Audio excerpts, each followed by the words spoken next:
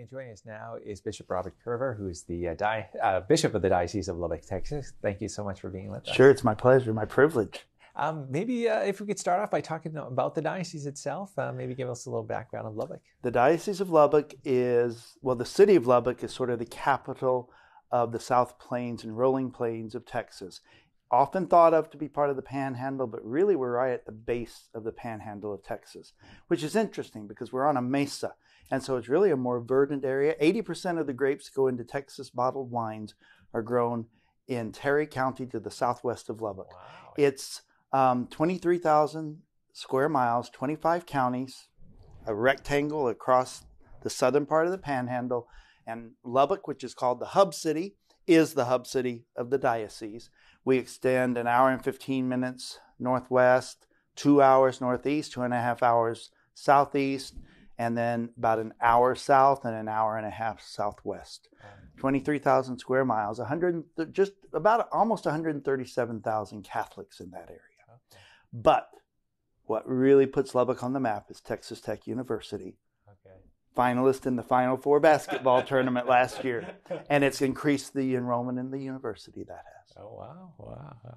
And I know uh, we were talking beforehand too. You're you're a native Texan from. I am. I'm, I was born and raised in Dallas, and interestingly, both of my parents uh, were born and raised in Dallas. Apparently, my, um, especially my paternal side of the family, um, were among the earliest Catholics in Dallas. My great grandfather actually constructed a carved wooden altar that was the first altar in the cathedral in Dallas. Wow, It was wow, dismantled in the 70s, but uh, but we have a legacy in the Dallas area. wow. And and uh, we've seen an influx uh, uh, too of growing communities in, in Texas overall. Have you seen an increase in, in your diocese as well? You know, it's interesting. Our diocese grows and it diminishes. It grows largely because of Texas Tech University and the Texas Tech University Health Sciences Center. And it's growing in the southern part because of the oil fields have, have extended north from the, the Permian Basin oil fields north from Midland and Odessa. On the same token, though, rural America is in trouble, and our young people aren't returning to the hometowns in which they grew up in. And in fact, many of our farms are operated from owners in the southwest quadrant of the city of Lubbock.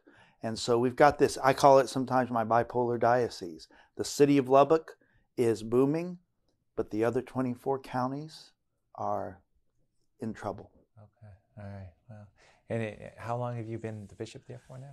It will be three years, November 21st. So I still consider myself, I consider myself sort of an adolescent bishop. And I think I behave that way in the eyes of some of the other bishops.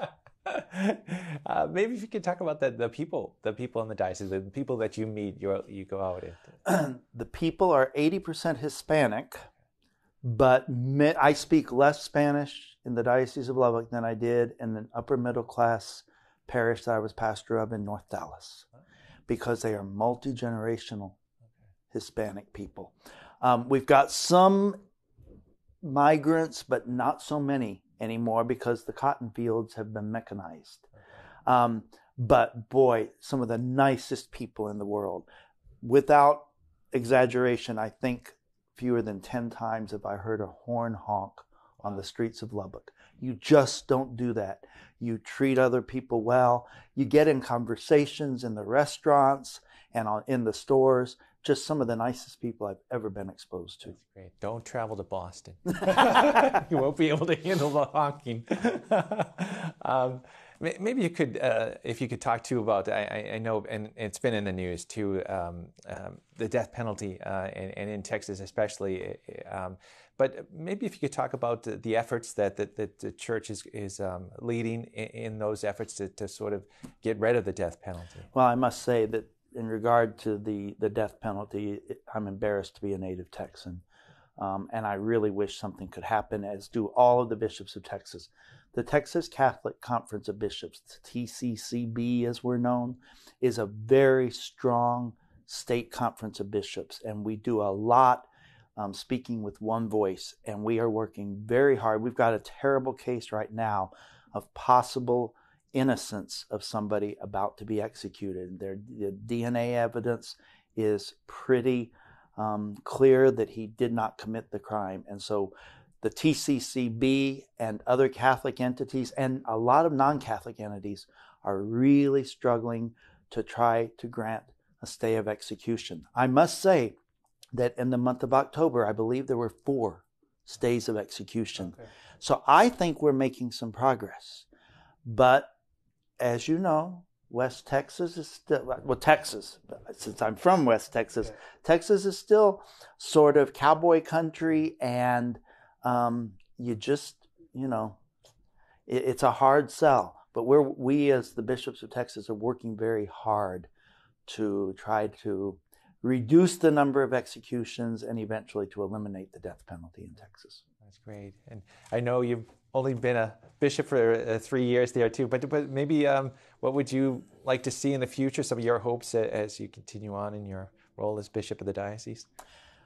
One of the biggest hopes I have is that we can continue to evangelize and send forth as missionary disciples our young people, hmm. the young church as we call them.